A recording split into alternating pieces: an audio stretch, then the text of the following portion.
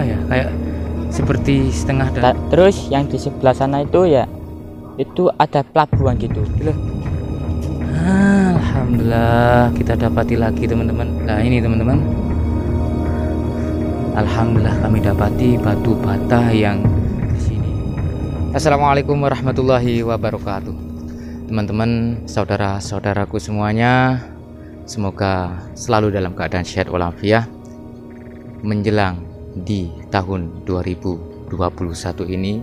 Semoga ke depannya apa yang menjadi cita-cita panjenengan semuanya dikabulkan oleh Allah, sukses selalu dan tetap semangat. Oke, eh, kali ini teman-teman pungutan pring, sebuah desa yang bernama Tempuran. Di tempat ini, desa Tempuran ini yang dihimpit oleh dua sungai, yaitu Sungai Berantas dan Sungai Gunting. Dalam naskah di negara Kertagama dijelaskan dalam pupuh 85 bahwa setiap tahun, Baginda Prabu Hayamuruk melakukan paseban agung di Pelabuhan Bubat. Seperti apa kajiannya? Apakah benar di desa Tempuran ini termasuk wilayah dari Pelabuhan Bubat? Menurut para raton, dalam kajiannya, Pelabuhan Bubat dengan kota Raja Majapahit waktu itu hanya berjarak 10 km. Kemungkinan besar kajian tersebut adalah benar bahwa pelabuhan Bubat berada di desa Tempuran di Kecamatan Suko, Kabupaten Mojokerto ini teman-teman. Seperti apa? Apa saja yang kami dapati dari bukti-bukti fisik dengan adanya wilayah yang diistimewakan waktu itu. Ketika kami menuju ke arah timur teman-teman, kami dapati di sini banyak sekali kami temukan yaitu adanya batu bata kuno di kerajaan Majapahit tentunya. Bismillah. Ini teman-teman. Wow, berat sekali ini. Apa ini? Kayak ada simbol ya. Nah, ini teman-teman. Di sini ada uh, goresan ya. Nah ini teman-teman. Alhamdulillah kami dapati batu bata yang di sini ada goresan-goresan uh, segitiga begitu. Kalau melihat dari simbolnya ini uh, di peradaban Majapahit akhir ya ada simbol uh, dalam eranya kepemerintahan dari Rana Wijaya. Kita kembalikan supaya nanti eh, tidak dipindah oleh orang-orang yang tidak bertanggung jawab. Ya kita simpan saja di sini biarkan secara alami. Ini tanpa motif setengah lingkaran. Di sini teman-teman adalah lagi-lagi pemakaman umum. Jadi di pemakaman umum lah banyak kami temukan di lapangan peninggalan peradaban kuno di era kerajaan. Seperti ini. Ini adalah pecahan keramik ketika ke sini lagi-lagi banyak kami temukan pecahan wadah.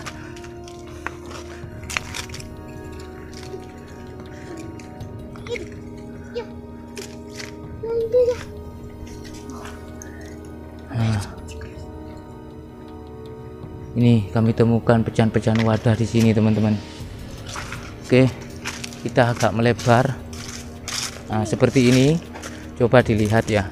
Ini adalah makam yang masih baru. Mungkin sekitar eh, hitungan bulan makam ini. Ini tampaklah eh, tanahnya masih agak gembur ya. Nah dan dan di sini kita lihat.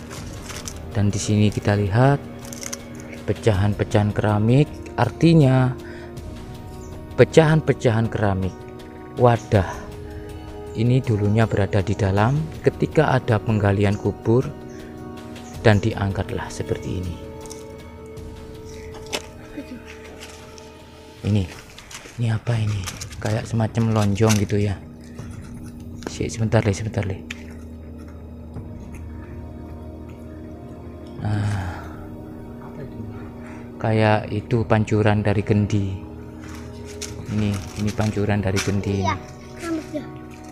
Sebentar. Ini teman-teman. Ini ada yang tebal.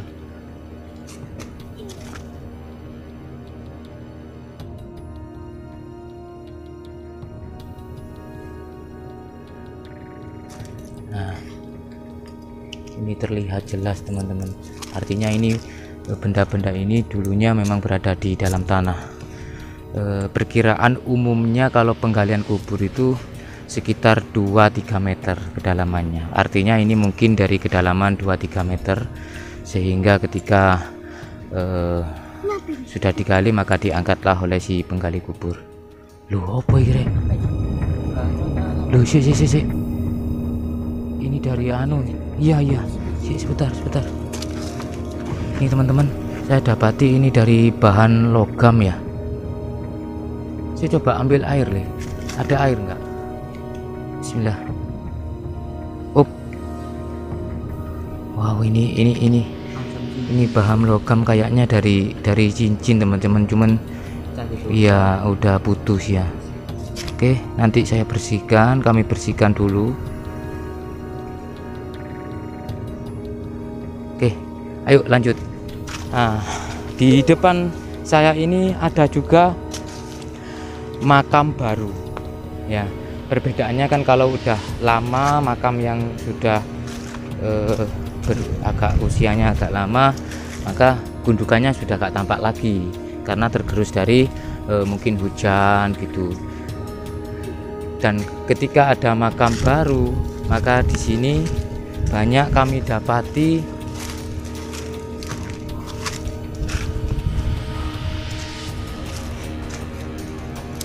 pecahan-pecahan dari wadah dan keramik oke ini teman-teman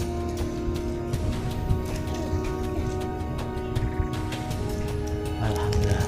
Ah, ini nampak motif agak kecoklatan begitu. Mungkin kalau dinastinya yang kayak seperti ini, ini kan sudah lumayan kasar ya. Artinya agak begitu eh, halus cara pembuatannya mungkin di eh, dari dari negara Vietnam Vietnam atau Thailand. Kita coba melebar teman-teman. Mencari yang eh, makam yang masih baru. Ya, coba dilihat itu. Nah, ini teman-teman. Ya Allah, alhamdulillah. Ya Allah, miris sekali ya. Hancur.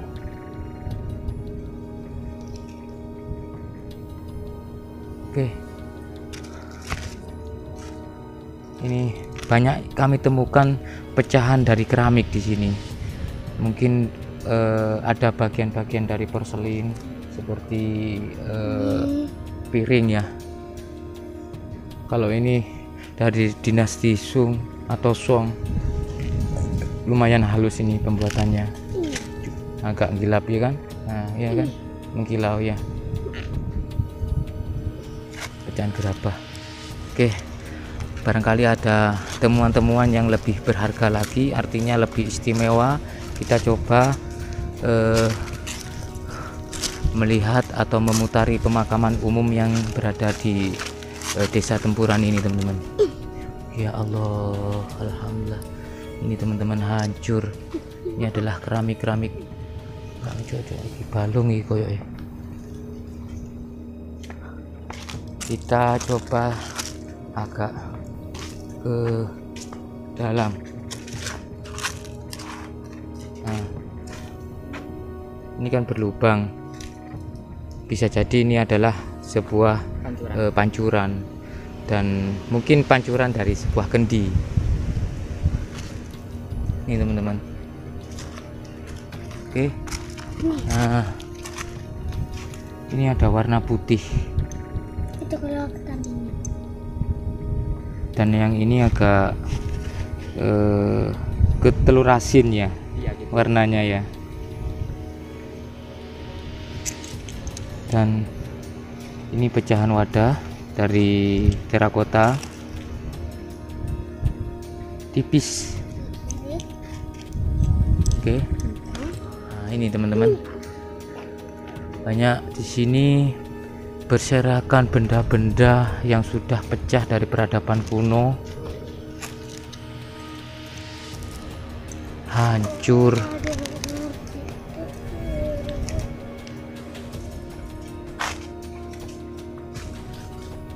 Nah itu teman-teman. Ada makam baru lagi ya. Coba kita lihat ya. Ada apa saja yang muncul dari makam baru ini? Nah ini? Ini? Bentar le. Dan ini teman-teman.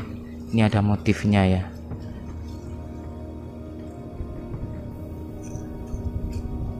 Mungkin pecahan dari genteng mungkin. Tapi kok ada motifnya ya? Mungkin eh, pecahan dari selubung tiang atau bagian dari ukel. Ini nah ini teman-teman. Coba dilihat ini kayaknya bagian dari keramik. Bentar, bismillah.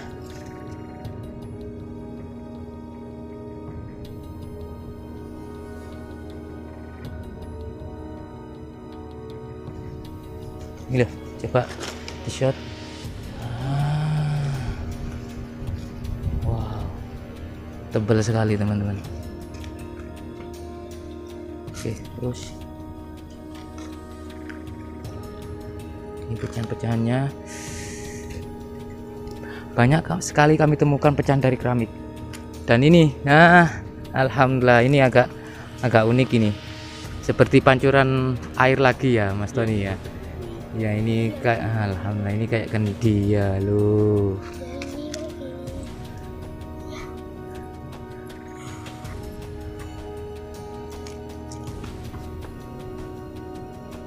Loh, ini pancuran dari kendi. Oke. Ayo bisa terus. Nah, ini lagi teman-teman. Bentar, bentar. Nih.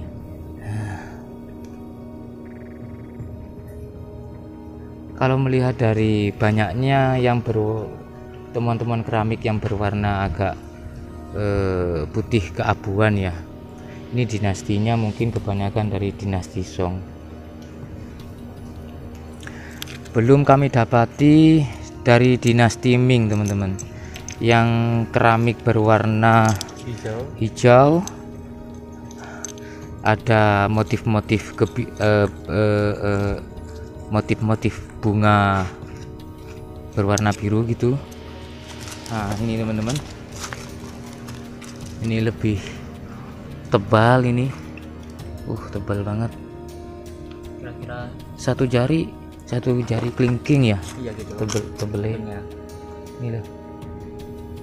Uh tebel ini.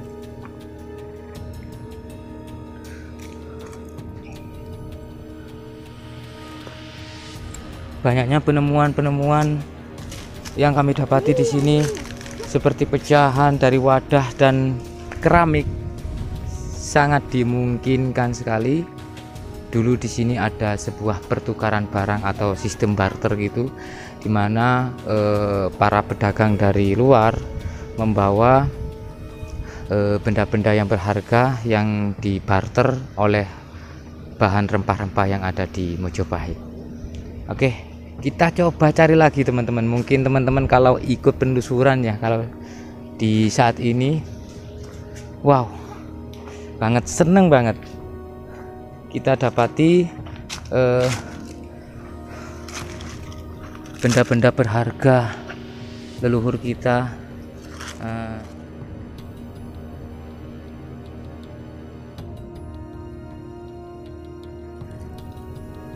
mungkin dari selubung tiang mungkin. Ini kayaknya kotak ini asalnya oke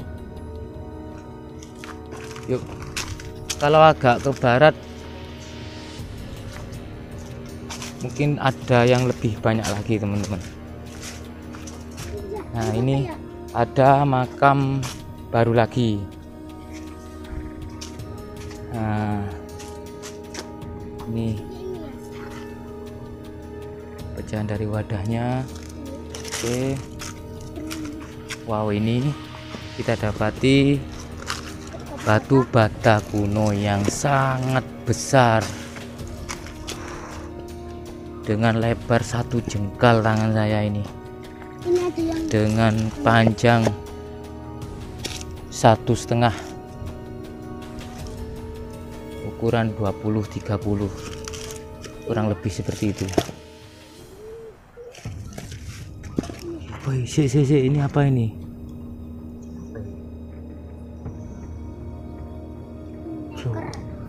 Apa ya? Kayak seperti setengah dari kelereng gitu ya? tapi bukan gitu kan ini apa ya gitu Iya, jadi eh teman-teman pungutan pring di depan kami ini adalah temuan-temuan yang kami dapati di pemakaman umum di desa Tempuran, teman-teman. Oke, yang sudah kami pisah-pisahkan di sini adalah bahan dari terakota. Ada seperti ini, teman-teman, pecahan dari wadah, eh, pecahan dari eh, vas bunga, ada dari mangkok, ada yang dari pecahan dari kendi. Ini tampak pancuran kendinya ya. Ada berapa tadi? Ini satu. Ini juga ada pancuran dari kendi. Dua. Terus, oke, pecahan dari genteng adalah juga. Ini ada bagian dari selubung tiang. Kalau ukel kayaknya masih belum, belum kami temukan di sini. Nah, dan ini ya, ini teman-teman pecahan porselin, keramik, seledon, ada dari mangkok, semuanya kebanyakan eh, putih keabuan ya, seperti telur asin gitu warnanya. Dari mangkok, piring, ini mungkin piring ya, kemungkinan iya. Ada dari bahan keramik juga cuman ini bulat teman-teman. Tinggal separuh. Seperti mungkin kelereng atau apa ya. Juga dari bahan keramik. Dan satu kami dapati bahan logam. Entah ini perunggu atau baja atau meteorit. Ya, saya kurang tahu yang jelas ini bahan dari logam. Ada semacam motif cuman tidak begitu jelas teman-teman. Perlu dibersihkan dulu.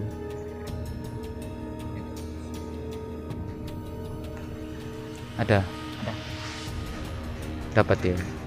Nah, ini kayaknya cincin dan ini adalah eh, yang putus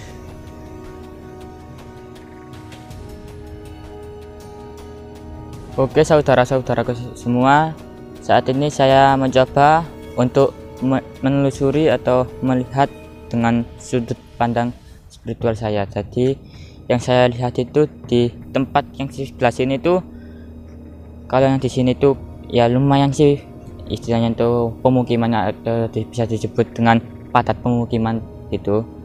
Terus yang di sebelah sana itu ya itu ada pelabuhan gitu ada macam pelabuhan gitu. Dan sebelah sana kan ada sungai itu ya. Itu sebenarnya itu sungai itu besar gitu. Besar kalau sekarang kan udah kecil gitu. Terus banyak sekali saudagar-saudagar gitu yang masuk ke sini tuh untuk apa istilahnya itu berdagang di sini gitu.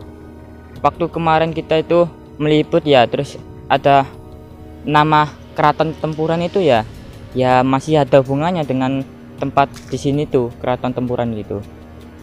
Karena waktu itu desa tempuran ini tuh istilahnya ibaratnya itu ya sangat istimewa gitu bagi kerajaan Majapahit itu. Dan waktu di waktu kita membuat di ba- batu tulis gitu ya mas Ika. di situ kan pelabuhan gitu ya. Kalau menurut saya sih pelabuhan sini sa- sama pelabuhan yang di batu tulis itu masih sejalur gitu.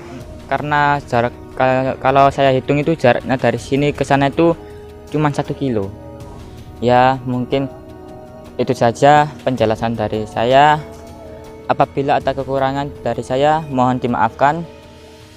Dan jangan lupa subscribe dan like channel Bungkutan Prank salam budaya Nusantara. Tinggalkan perselisihan sambung persaudaraan. Wassalamualaikum. Wassalamualaikum warahmatullahi wabarakatuh